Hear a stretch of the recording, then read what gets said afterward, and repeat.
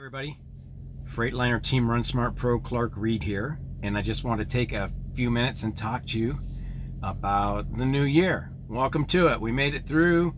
It was had some challenges last year, but we, we got through them and we're moving on. So I'm just going to share with you one of the resolutions that I actually carry through year after year. So this isn't new for me, but I always strive to do this, and uh, hopefully I'm succeeding. But it's pretty simple.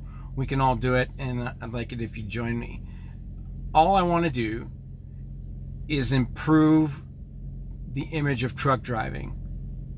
I'm going to do my part to do that. It, it's pretty simple to uh, act professional out there, and too many times we don't. We, we get upset or, you know, we act like we own the road or we'll flip somebody off because they cut us off or something, and that doesn't really help our image at all. But the one thing that I think does a ton of damage to our image is mocking other drivers when they're uh, in a bad situation, when they've made a mistake, when they've caused some kind of uh, damage. So you see it all the time on Facebook and on YouTube where someone will grab a camera and and they'll show a driver that's uh, got themselves in a predicament that they can't really get out of quickly and and they end up making it much much worse all the while the driver is making comments and laughing uh, over this driver's issues. So here's my challenge.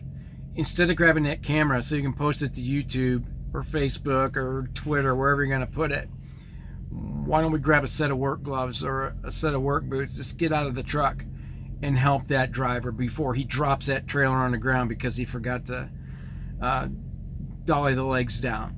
I've seen that video. Or the driver that's trying to do a U-turn and can't get out of the situation, just makes it worse. Instead of blocking traffic so that guy can back up, let's uh, let's get out of truck and do that type of thing instead of recording it and then posting it online where everybody can see it and then all we see is that stupid driver, that dumb driver, and we all know the company that gets mocked a lot. I'm not going to mention their name.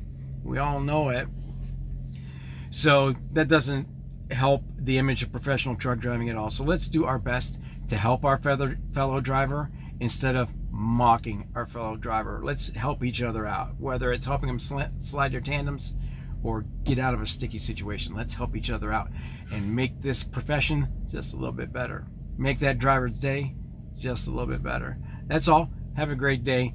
I hope you'll take that challenge and feel free to uh, follow all the Team Run Smart pros on Facebook, on Instagram, on YouTube, and uh, follow us all on our private pages as well. And also, don't forget to go to teamrunsmart.com, sign up for the free e email newsletter. I can't get that word out today. And uh, we'll send you something every Friday. And then check out all the other articles too. They're pretty informative. So, have a great day. I hope this new year finds you ha happy, healthy, and wise. And we'll see you out there. Take it easy.